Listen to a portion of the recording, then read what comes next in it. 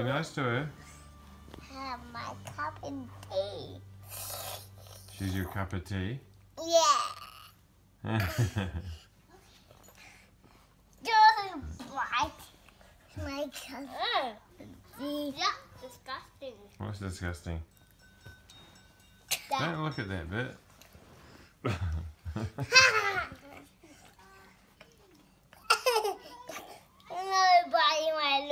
cutie. If you say that, say that one more time, I'm gonna rip your arm off. That's not very nice. Joking.